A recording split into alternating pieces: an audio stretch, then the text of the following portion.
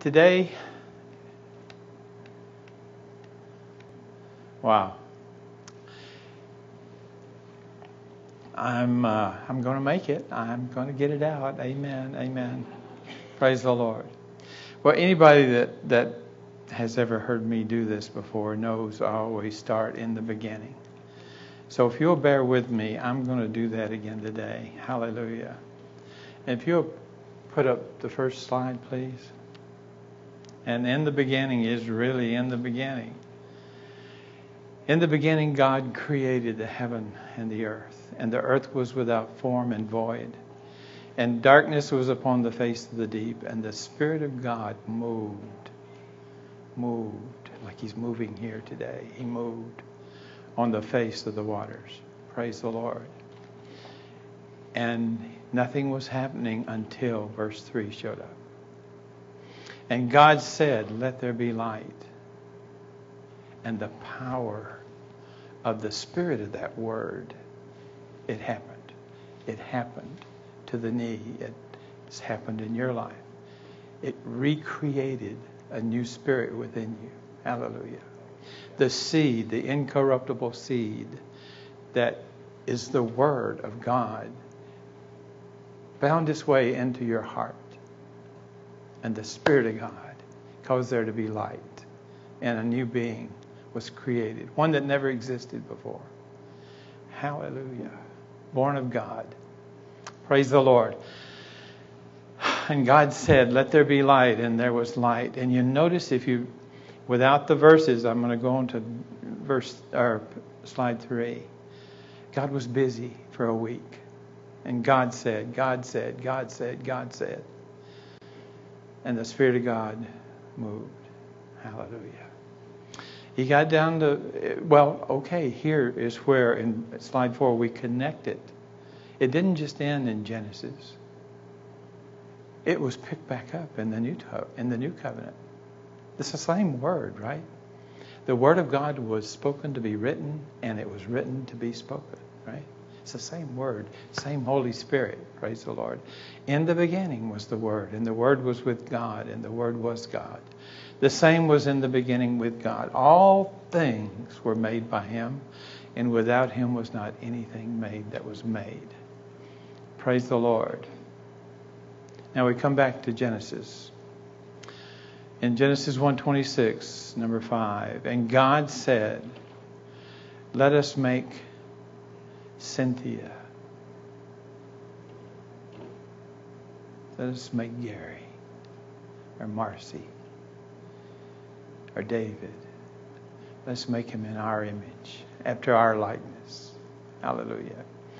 Praise the Lord. And let them have dominion over the fish of the sea, and over the fowl of the air, and over the cattle, and over all the earth. All the earth. Now, keep that in mind as we move forward with this. This may be seem like a little weird message today, but that's okay. Most of mine are weird. But over all the earth and over every creeping thing that creeps upon the earth. Praise the Lord. 128. And God blessed them. And he said unto them, Be fruitful and multiply and replenish the earth and subdue it, subdue it, subdue it. You know, for the longest time, I don't know why. I guess I never really focused on it, but I always thought when the Garden of Eden was put in place, that it just covered the whole earth. I mean, he said, you know, that he created heaven and earth for us, right? But no, I don't believe so. I think it was just a little garden over to the side.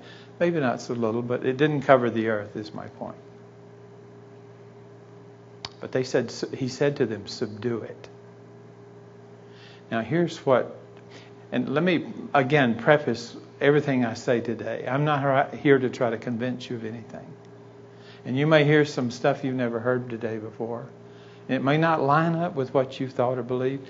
That's okay. Just don't throw it out. Think about it, pray about it, and see if you come up with something different or the same, okay? I'm not trying to convince you or take anything from you. Hopefully, give you something today. Praise the Lord. So man was to subdue the earth, right?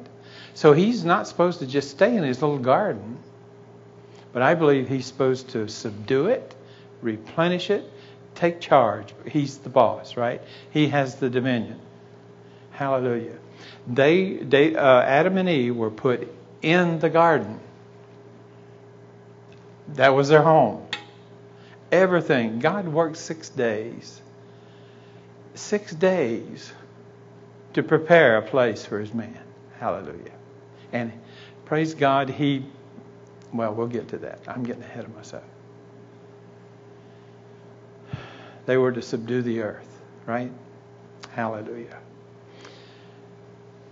And he dwelt in Adam and Eve. And, and, this is another point I want you to understand. When you read the Old Testament, consider the New Testament. The Old Testament looks forward and, and is prophetic, right? It's foretelling, telling what God's got in plan, in mind, in bits and pieces. It's a mystery. Nobody really understood it, but it's foretelling. Now, when we get to the New Covenant, the New Testament, we can look back and fill in the gaps. I believe. We can see what God's intent and purpose was from the beginning. And I believe Genesis chapter 1 and 2 is the end state for us. That's where he began. You think he's just going to set it up and abandon it and go another direction? No, no, no, no, no. He doesn't fail. Hallelujah. That is our end state. Praise the Lord. Now keep that in mind. And Adam and Eve, even though it doesn't say it in Genesis, in on verse uh, seven, I think you'll see, or slide seven, I think you'll see God's intent and purpose in Adam and Eve's life. He said, "I will dwell in them and walk in them, and I will be their God, and they will be my people." Hallelujah. That was his intent then, as it is for us now. Amen. And Adam had never been to the University of the Garden, right? He had no training. He had no knowledge. In fact, he's like a little baby. He's just formed, and God breathed into him the breath of life. He was, though, the temple, I believe, of the Most High God. God was to reside in him, dwell in him. The Spirit of God in him was to lead him into all truth, to show him things to come. That was how he was going to dominate and ha- exercise his dominion in the earth. Praise the Lord. That was his intent. Well, you're back there now. Hallelujah. If you've made Jesus the Lord of your life. That was the way Adam and Eve were to operate. Praise the Lord. And if you look at Leviticus, all the way back in, in slide, I think nine that is, or eight rather, he's he said in Leviticus 26:12, "I will walk in and with and among and will be your God and you shall be my people." He said it all the way back there. So his plan and purpose was the same as it is for us today, for Adam and Eve to simply listen to the voice, obey the voice, and walk out the life of God in the earth. Hallelujah. Praise the Lord. Genesis 131, slide 9. And God saw that he, what everything he had made, behold, it was very good. Hallelujah. And the evening and the morning was the sixth day. And verse 10, or slide 10, boys, sorry. Thus the heavens and the earth were finished, and all the host of them. Notice Hebrews 4:3. Although the works were finished from the foundation of the world. Everything God did, He did it in those six days.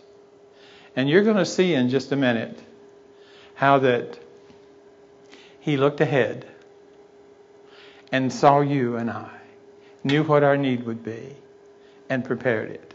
He didn't just prepare for Adam and Eve, He prepared for His family. Hallelujah. Everything that we ever need. Didn't he say, my, my God will supply all your need according to his riches and glory by Christ Jesus, right? So there is an unseen world out there that's just packed jam with everything you'll ever need. But the only way you're going to get it is by faith, is by simply taking his word, believing his promises, and receiving them And you know what? It just gives him great joy to give it to you. Hallelujah. He is more blessed to give than to receive. Where do you think that came from? He said to me a few weeks ago, he said, Gary, he said, I have never, ever asked you to do anything that I've not and already and still do. He said, and he took me to the scripture where Jesus said in Matthew, he said, what, somebody asked him, What's the greatest commandment? He said, To love the Lord your God with all your heart, with all your soul, with all your might. And God said, That's the way I am to you. I love you with all my heart, with all my soul, with all my strength.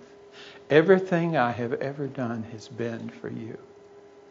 Hallelujah. Six days he worked. He knew you were coming. He knew you were going to show up. He knew you'd be here, and He prepared everything in advance. And it's in a place called the realm of His glory. It's in a place called the realm of the unseen. Hallelujah. It's no wonder Paul wrote, and he says, While we look not at the things which are seen, but the things which are unseen. For the things which I see are temporary but the things that are unseen that I can receive by faith is permanent. Hallelujah. Well, gets me going. Praise the Lord. Slide 12. And God blessed the seventh day and sanctified it because in it he had rested from all which God created and made. Six days he worked, and the seventh he rested. Now, think about it. What was the last thing he did on day six? He made you. He made Adam and Eve. He made his man. Well, looks like there's nothing left for Adam and Eve to do. Praise the Lord. God did it all right.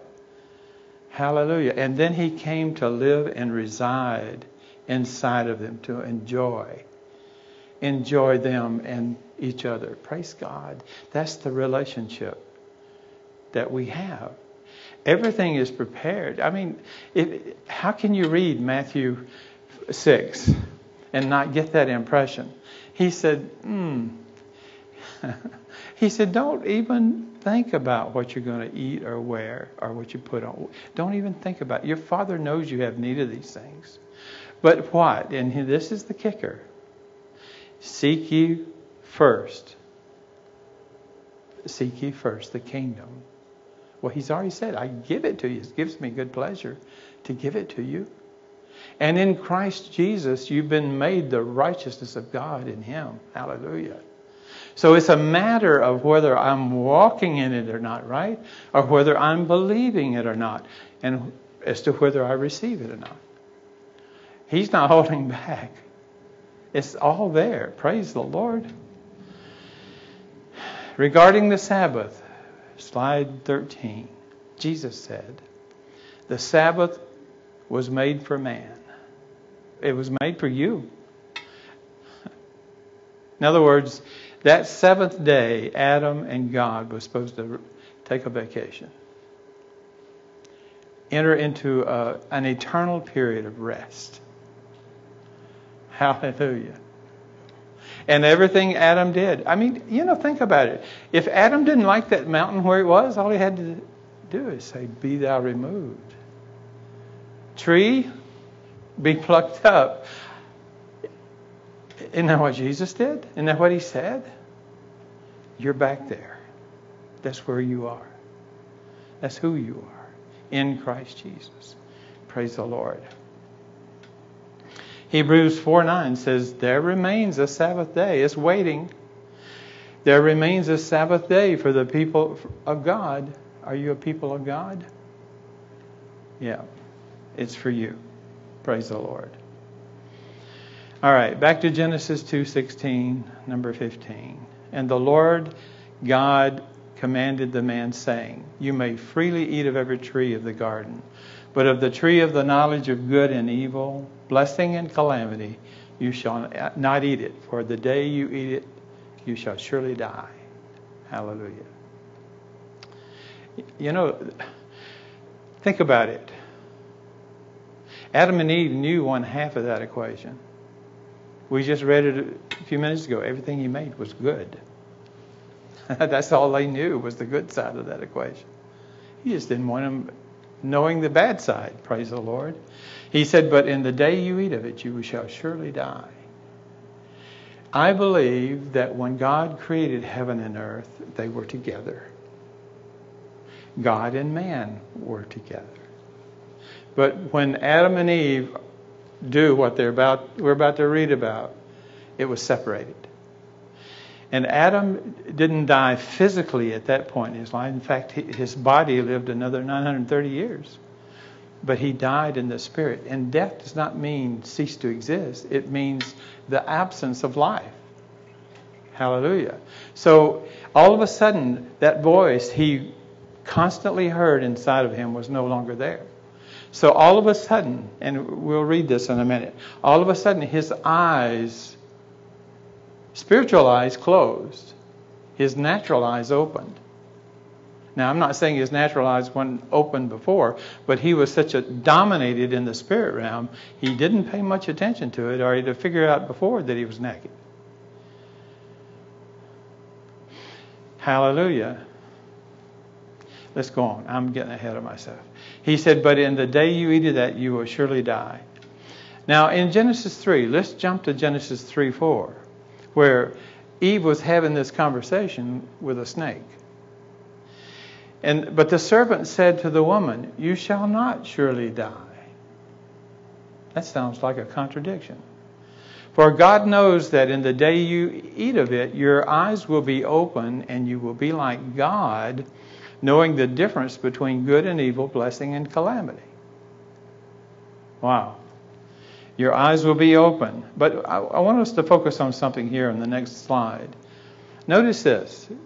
Genesis 2:17, you shall surely die. Genesis 3:4, you shall not surely die. Now, everybody in this room has experienced this. You know that, right? We go to God's word and it says, by his stripes you're healed my body speaks to me and says, No, my knee hurts. Or something hurts. Or the, I have a headache. Or whatever it is. No, but the word says, By stripes I'm healed. Which am I going to believe? And there's a voice whispering, You better do something. First, is here's what you do call the doctor. No, but he said, Seek the kingdom first. Now you better you're going to die if you don't get help. Have you ever been there? Or you wake up one day and you realize that you got more bills than you got money. And you think, I better go work some more hours. That's the first thing I think of. I've got to go do something to earn more money. But he said, Seek ye first the kingdom and listen to that voice that's going to lead you into all truth, who's going to bring to your remembrance everything that Jesus has said, who's going to reveal to you the kingdom of God. Hallelujah. So, what do I choose? It's before me life and death, blessing and cursing is sitting right in front of me. And my flesh is going to want to go the natural way. And the devil is going to try to encourage me to do that because he's in he's in our ears 24 he can't get in God's ears anymore remember he doesn't have a place there so God knows he's defeated the devil knows he's defeated but nah, he's here in the earth telling you how bad you are or how you're going to die how you're going to not get healed or how your needs are not going to be met and sometimes he gets more real Many times he gets more real because he's so loud. The circumstances are so big because we look at him so much. And fear begins to develop that God's not going to do it. And the devil's saying, Not this time. God's not going to. You know what you did yesterday. You know what you did. Praise the Lord. Well, that's what the serpent did to Eve. Let's go on here in verse 6. And when the woman saw that the tree was good, notice this Everything about that tree. She saw something. She's she's seeing something here. She saw it because he's whispering in her ear, and then she looked and she saw that the tree was good for food. It's good. Of course it is. That's the way God made it. And it was pleasant to the eyes. Of course it is. That's the way God made it. And a tree to be desired to make one wise. So, she's got this word from Satan. Now, is she got more faith in what God told him, or does she have more faith in what the devil told him? Hmm. You ever been there? I have. So she took the she took it and ate it. And that was an act of faith in what the devil told her. She, in other words, the word that she heard from Satan was more real to her than what God did, so she acted on it. Now, if I would have taken God's word, which is the truth, what she heard was a lie. If I would have taken God's word and said, okay, I'm going to do this, that act of obeying the word is called what? Faith. And that act pleases God.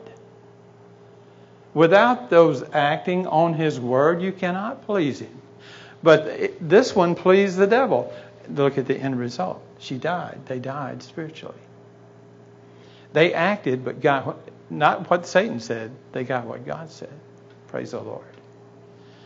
So, I don't want to leave you confused with this. Her act created, ended up creating fear. That's where the devil takes you. Because the next few verses it says they were afraid, they discovered they were naked, and they clothed themselves and they hid themselves when they heard the voice of God because they were afraid.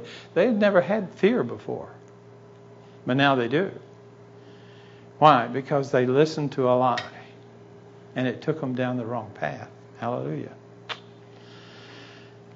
And Genesis 3 7, slide 19, I think. And the eyes of them both were opened. Now, wait a minute. The previous verse said she saw. She saw something before. She saw that the fruit was good for food and pleasant to the eyes and desired to make one wise. She saw that. But then they fell, and this here that says their eyes were open. What are they talking about? The spiritual eyes closed because they're separated from God. Heaven and earth are no longer together. And now all they have to rely on are their natural eyes. Can you imagine what a shock that was to their system? Up to that point, they had heard that still small voice. They have moved and walked in the love of God, in the peace of God, in the joy of God, and just prevailing in the garden and beyond, if you will. But now that's gone. They have no prior training like we had, I had for 27 years before I came to the Lord. I didn't know how to operate in the world system. But now, bang, their eyes are open. What are we going to eat? What are we going to wear? What are we going to put on? And God had told them, You're going to have to toil. You're going to have to earn it by the sweat of your brow. It's all up to you now. You made your choice. You've got to make your own way. Hallelujah. But thank God that's not true anymore. Hallelujah. The point what I, of this, what I'm trying to get you to see, we have more than one set of eyes. We have eyes that we can see in the natural, but when you're born again, filled with the Holy Ghost, you've got eyes you can see into the spirit realm. Hallelujah. Now remember what Jesus said. He said, when He, the Spirit of truth, has come, He's going to lead you into all truth and He's going to show you things to come. Hallelujah. Now that's where we can operate. That's where we are to operate, right? We're, in fact, we're not even of this world anymore. We've been raised up and made to sit together in the spirit realm, in the heavenlies, in Christ Jesus. Praise the Lord. Colossians 3:1 says, "If you then be risen with Christ, seek those things which are above, not what's beneath. Set your mind, your affections on things above, Focus on those things. The Passion Translation said, when you Christ's resurrection is your resurrection. Hallelujah. You, with that resurrection, you've been detached from this world system. You've been placed into a heavenly kingdom. Praise God. And that's where we're to live. Hallelujah. And in that kingdom, if we'll receive the abundance of that grace that He's given us and that gift of righteousness, we reign. We reign as kings because that's what He's made us, right? He's made, he's made us kings and priests unto Himself. Praise the Lord. That's who you are. You're not just under the thumb of the devil anymore, you're on top. You've been raised up. You are in a dominating position in Christ Jesus. Hallelujah. And I, I can tell you, Jesus didn't lie when he said, Have the faith of God, or the God kind of faith. For whosoever shall say unto that mountain, Be thou removed, and be thou cast into the sea, and shall not doubt in his heart, but believe that those things which he says shall come to pass, he will have what he says. And then he turned around and, and pointed his finger at them, and he said something. Well, you think this is going to work for Jesus? he, he said, And I say to you, what things soever you desire, when you pray, believe that you receive, and you shall have it. Praise God. It's got to be so. It's got to be so. And he said, while you're praying, if you've got aught against any, forgive. Okay, here we are, back to that giving position. I'm giving forgiveness. And in giving forgiveness, I'm receiving forgiveness. Hallelujah. The path is open. The road is clear. The channel is open. All of heaven is yours and mine. Praise the Lord. If we want it. If we want it. But sometimes it just seems like We're too busy. You ever feel like you're too busy? Wow. Okay, back back to this. Praise God. When Adam and Eve ate of that fruit, that is exactly when the law of sin and death came into play. They, they just walked it out. They defined it. They acted it out. Hallelujah. What was the real source of the sin?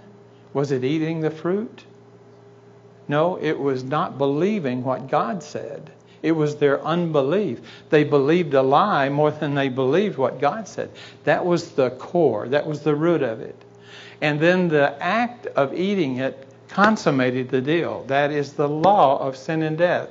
Hallelujah. Read James chapter 1. That's what he says. You're enticed, you're led away by your own lust. Hallelujah. that's what Eve did. She saw. She had heard, You will not die. Then, then she acted on it. It leads to the act, right? And the law of sin and death is in play. Sin is conceived, and death is the result. That's where they landed. That's where everybody after them up to Calvary landed. Praise the Lord as by one man sin entered into the earth. But praise God, that's not the end of the verse.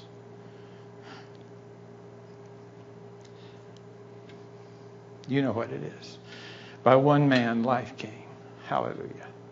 Praise the Lord. The law of sin and death. But listen to this.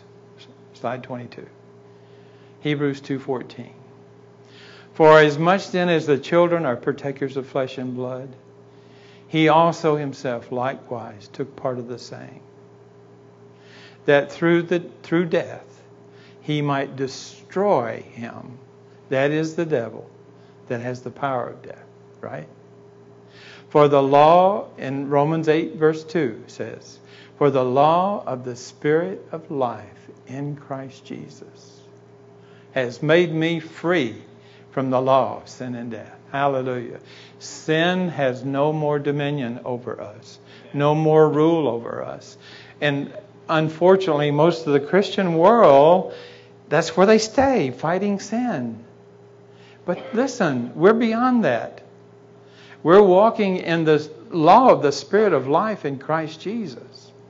We're the dominators, not the dominated. Yes. Hallelujah. Because the greater one lives in us. And greater is he, right? Greater is he that's in us than he that's in the world. Praise the Lord. Praise God. Now, I, this sounds like we're changing gears here, but we're not. The next slide, 23. And the Word was made flesh and dwelt among us. And we beheld his glory. The glory is of the only begotten, full of, of the Father, full, full, full, overflowing full of grace and truth. Praise God. Praise God. Now, go back to that, not you, but think about the slide where God said you would die, Satan said you shall not die, right?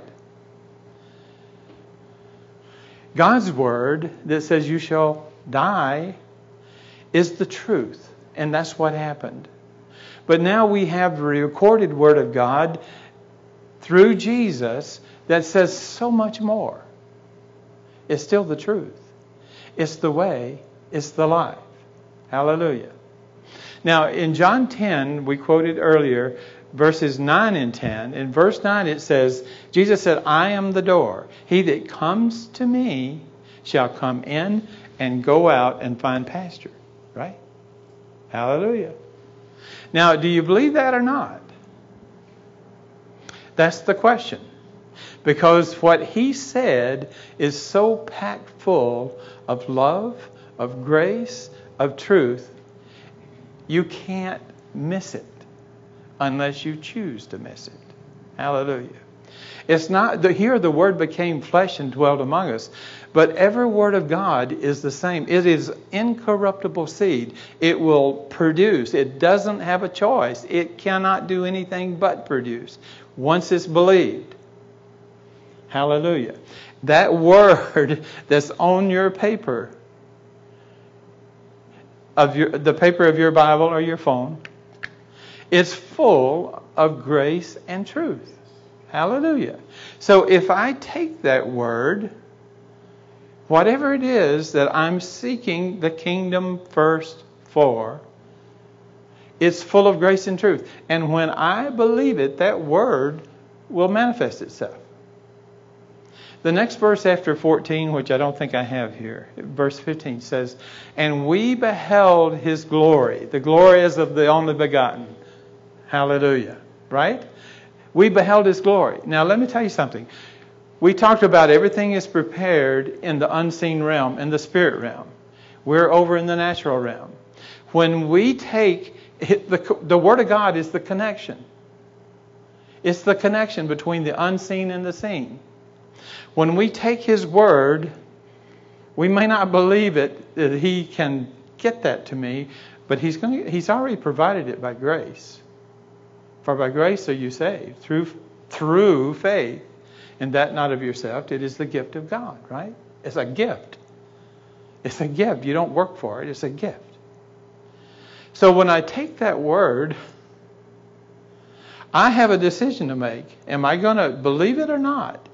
And sometimes on my first reading, there's no way that can happen. My brain won't accept it. But if I will keep looking at it, if I will keep thinking about it, if I'll keep meditating on it, if I'll start speaking it and declaring it so my ears can hear it, what's coming as I hear it? Faith comes by hearing and hearing by the word, right? But I keep looking at it, I keep thinking about it. Whatever I think on, the more I think on it, the bigger it gets. And sometimes it's the bill that's due tomorrow that I don't think I have the money for. What am I going to do? How am I going to pay that? So if I keep looking at the word pretty soon and thinking about it pretty soon, that's going to get bigger. But most of the time, we just can't go to the word, take that word, and believe it. Because the noise outside is bigger than what we're seeing with our eyes and hearing inside. We got to shut it down. And we start by meditating on the Word. Isn't that what he told Joshua? Isn't that what he told David in, in chapter 1? Joshua 1 8? This book of the law shall not depart out of what? Your closet, your desk, your car. It shall not depart out of your mouth, but you'll meditate in it whenever you feel like. No, he said, meditate in it day and night, day and night, day and night. Why? Because the devil is coming at you day and night, day and night, day and night. Just like he was God before he got the boot. God booted him out. It's our turn. Right? Praise the Lord. We take that word, we meditate, we think about it, we walk around saying it. Somebody asks you how I'm doing. How are you doing? I'm healed by the stripes of Jesus. Praise God. How are you doing? I'm blessed. How are you doing? I'm prosperous. My every need is met in Jesus' name. Do you see it? I don't have to see it. I know it's right there.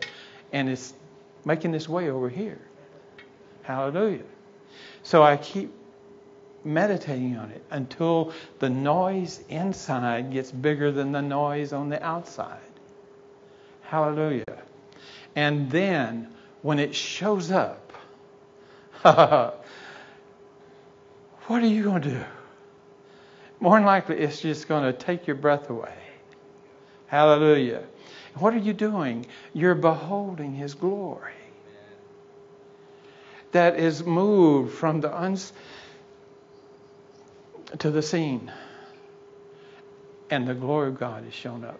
That's why I said the unseen realm is the realm of glory. Hallelujah. Because it moves into the seen realm and God gets all the glory.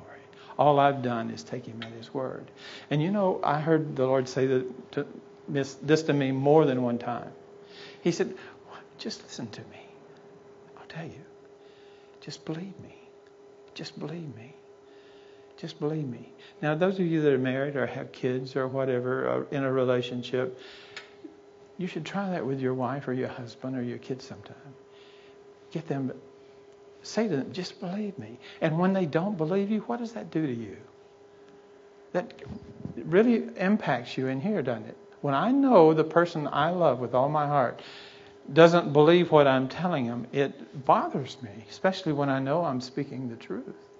How do you think the Father must feel? And that's why Jesus said in John, I believe it's chapter 15, he said, If you really love me, you'll keep my word. You'll keep my word. In fact, he said in John 15, 7, If you abide in me and my words abide in you, you can ask what you will, and it'll be done. Hallelujah. It's the abiding thing. Jesus said in John 8:31, he said, "If you continue in my word, then are you my disciples indeed." That word continue is the same word as abide. It means stay. Park. Don't move. Stay there. Stay there. Meditating, thinking about, speaking. Hallelujah and the faith will come up inside of you. And you will see that.